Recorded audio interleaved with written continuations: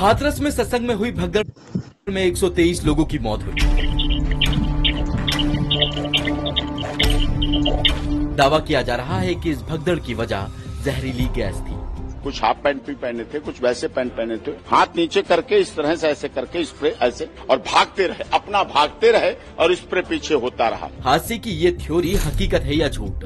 क्या थी लोगों की मौत की वजह? इसे जानने के लिए दैनिक भास्कर ने कार्यक्रम में मौजूद भगदड़ के चश्मदीदों से बात की। संग में हुई मौतों की डीआईजी लेवल की जाँच चल रही है। इस जाँच में पुलिस वहाँ मौजूद चश्मदीदों के बयान भी रिकॉर्ड कर रही है। हादसे वाले दिन लोकल जर्नलिस्ट राकेश कुमार कार्यक्रम में कवरेज के लिए मौजूद थे। पुलिस ने चश्मदीद के तौर पर उनका बयान भी दर्ज किया है।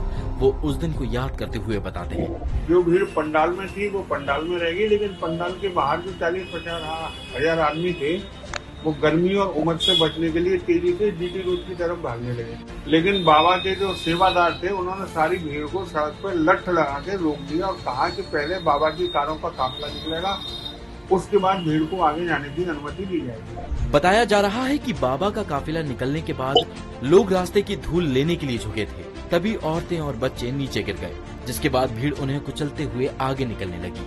जहरीली गैस वाली बात पर राकेश बताते हैं। इससे पहले भी बाबा के कई सत्संग हुए, कई स्प्रे वगैरह, कहीं कुछ नहीं हुआ। जब भगदड़ मच रही थी तो उस दौरान स्प्रे करने कौन आ सकता था? ये केवल काल्पनिक तथा हादसे से दूसरी तरफ़ मोड़ने का, मोड़ने की एक कुचेष्टा है, बस। हादसे में मरने वाले लोगों की फैमिली से भी हमने बात की। घटना वाले दिन के बारे में वो बताते हैं। वहाँ पर लोगों को मैनेज करने के लिए बाबा की फोर्स थी। लेकिन पुलिस फोर्स नाम की भी नहीं थी। इसी वजह से ये अव्यवस्था हुई। हाथरस पुलिस अधीक्षक निपुण अग्रवाल के मुताबिक, हमारी जाँच में ऐसी कोई भी बात निकलकर सामने नहीं आई है।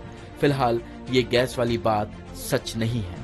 तो वही पोस्टमार्टम रिपोर्ट में इसके कोई सबूत नहीं मिले हैं। आगरा के एसएन मेडिकल कॉलेज में सत्संग में मारे गए इक्कीस लोगों का पोस्टमार्टम किया गया। इनमें से तीन डेड बॉडी को हेड इंजरी थी और तीन को शॉक एंड हेमरेज था। वहीं ज़्यादातर मौतें दम घुटने से हुई थी। एसआईटी ने सोमवार रात सीएम योगी को 900 पेज की रिपोर्ट सौंपी। रिपोर्ट के बाद सरकार ने 9 पॉइंट्स पर बयान जारी किया, जिसमें आयोजकों और प्रशासनिक अधिकारियों को लापरवाह बताया गया।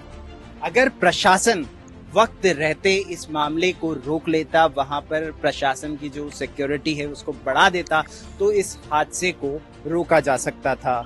और दूसरी तरफ़ जो रिपोर्ट्स आई हैं और जो चश्मदीदों के बयान हैं उससे भी ये पता चलता है, ये जो जहरीली गैस वाली बात बोली जा रही है कि वहाँ जो सत्संग हुआ था, वहाँ पे जहरीली गैस छोड़ी गई थी, ये बातें सारी काल्पनिक हैं। दैनिक भास्कर के लिए याकूत अली।